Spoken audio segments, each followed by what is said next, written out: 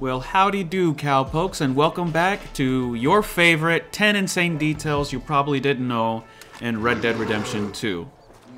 For this episode, we're going to be looking at Lonnie Shack, one of the places where you can do an optional home robbery uh, solo, or you can do it with Sean in Chapter 3. There's a lot of things that you can miss in just this small portion of the game alone that was worth making it into a 10 detail uh, series, uh, a episode into the series. There's a lot of different outcomes, scenes, dialogues, and things that you can miss, uh, and I'd like to showcase them here right now in case anybody hasn't seen them.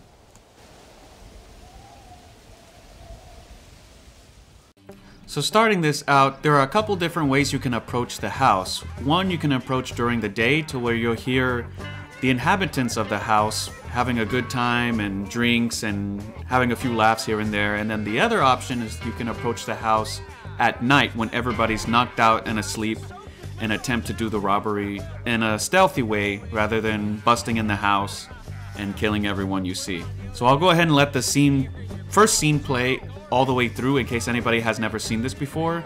And then from there on, I'll show you all the different outcomes and scenes that you miss.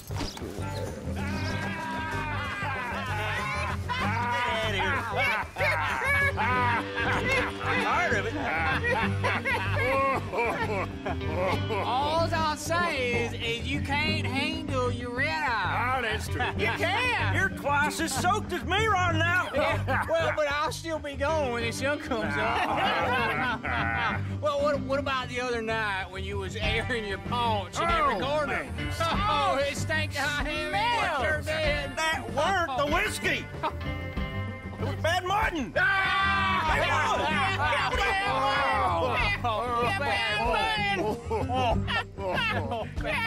Back me up here, fellas. Three glasses down, this one could be pissing in a horse's ass, and he wouldn't know no better. no, he wouldn't. No, sir. You ain't the best drinker I ever know. What are you talking about?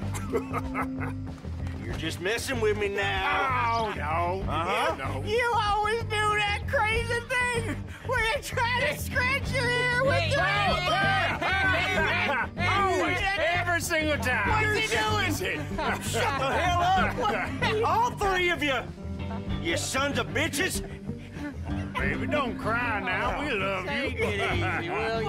What the hell is that? It ain't right. ain't nice. You get your feelings hurt. We get your feelings hurt now. Here, here. Oh, get out of here. Oh, Let me scratch your ear for you.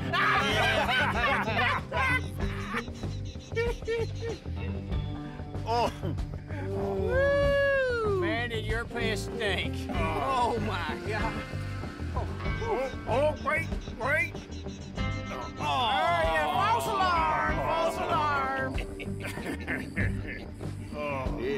Go check yourself. I think, I think I, I think I may have drew mud on that Well, one. there's Too many things for you. That's gonna itch when it dries.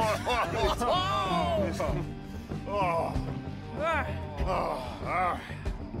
I think I'm gonna go rest my eyes. Oh.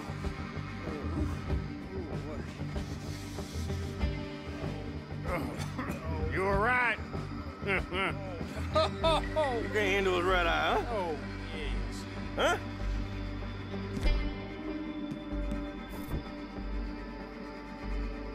Benny, goddammit, stop dancing circles around me! Hey, I got a piss. Oh, oh, okay. Maybe later. And here's what happens if you are noticed when trying to sneak up on them during the day. Tired of it? Holy smokes! We got a problem here. Come. Get out of here. Tired of it? We got a problem here! Holy smokes! And here I'll be showing how you are able to sneak in during the nighttime when everybody's asleep. Now, if you make any sudden or loud movements, or for some reason you decide to be a complete moron and pull out your gun and startle them for no reason, like me, then you can see what happens whenever they wake up. They'll immediately start attacking you. Everyone, wake the hell up! Now, after killing all the outlaws, and if you leave one left and don't kill him, he'll give you the location of where the loot is hidden. This actually changes depending on who you leave alive each time you do this mission. So it's best to make a game save before doing this so that way each time if you want to see all the different possibilities and outcomes when it comes to this, you can go back and try each time and leave a different guy of the gang alive. So let's just say you leave one person alive, he'll tell you that the loot is hidden under his bed. If you leave another person alive while doing this, they'll tell you it's hidden in a sack and under a floorboard and so on and so forth. So it's just a couple different things that Rockstar added into this that show you many different outcomes and that each player is going to have a different experience while playing the game. Okay, shit! I give up! You're the only oh, one left! Give it up now! Give me one reason why I shouldn't put a bullet through your head. All right. There's a sack of grain in the kitchen. I stashed my cut there. Go. Get out of here and never come back. You're the only one left! Give it up now! Don't shoot! I'm unarmed! Give me one reason why I shouldn't put a bullet through your head. all right, all right. Un under the pillow on top of my bed. Just take it and get out of here. Go. Get out of here and never come back.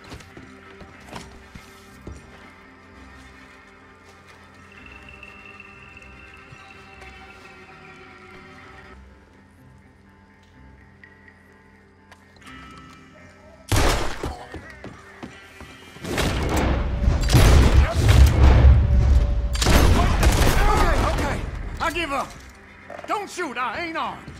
Give me one reason why I shouldn't put a bullet through your head. Okay, okay. There's a loose floorboard in the kitchen by the wall. I hide my cut there. Go. Get out of here and never come back.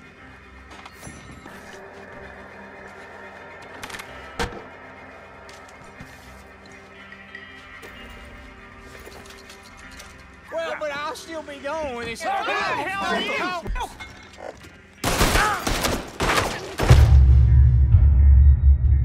Now, another way you can complete this home robbery mission, as I've stated before in earlier part of the video, you can do this with Sean as an optional side mission in Chapter 3. We had no time for politics. My dad would say that no politics was politics. That old world bullshit, it ain't got no place here. Why? Because there ain't no judgment here. Most folks hate the Negroes, they hate the Redskins, the Jews, even us Irish. you ain't so free of politics. I hate everyone just the same. Well, in that case, you're gonna want what I just found for us. What's that? I was riding around a couple of days back. I come across this old cabin. A couple of fuckers lazing about outside, all liquored up. I didn't think nothing of it. But then I come across this hunter down by the river. He tells me they're a stick up crew. Says they hit a train a couple of days back near Emerald Ranch. Nice fella he was, shared a bottle we did. Then I robbed the bastard blind. You believed him? no reason not to. If he's right, it'll be a big haul for us. I saw three of them, maybe more, but I reckon you and me, we could take them real easy. All right. What the hell? Let's go check it out. Damn sons of bitches think they're mean. they're about to get a lesson in mean.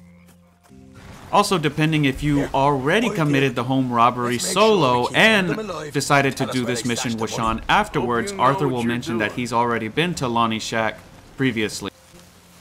You know, I've been here before. Is that a problem? No, just didn't realize you meant this place.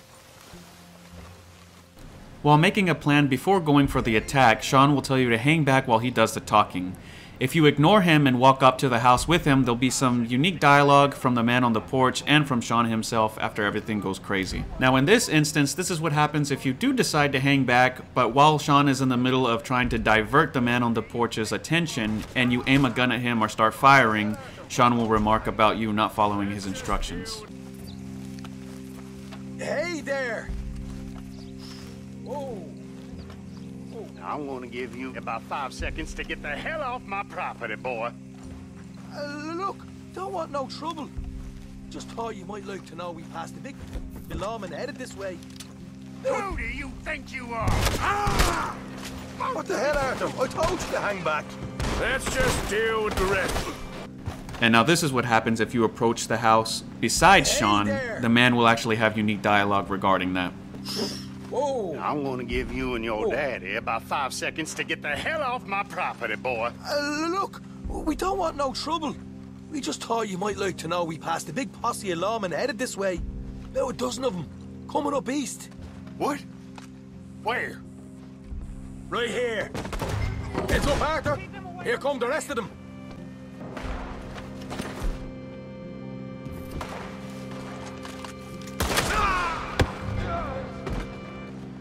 Oh, After clearing out all the attacking outlaws, there'll be one left in the house to tell you where the loot is stashed. Now you can yourself take the lead on this and aim your gun at him and ask him where the loot is stashed, or you can hang back and let Sean do all the work for you.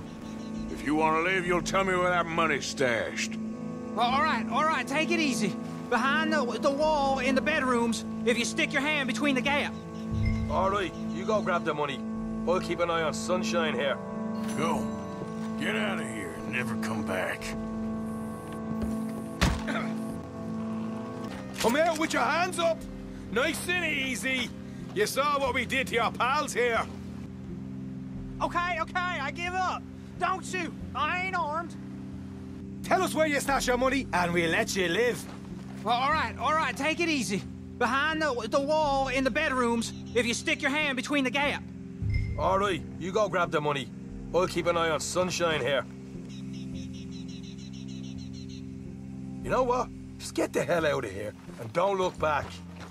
After deciding to spare the man, if you kill him afterwards, Sean will remark about Arthur's cold blooded nature in mercilessly killing an unarmed man.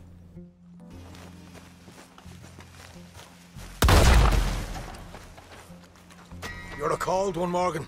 A cold one.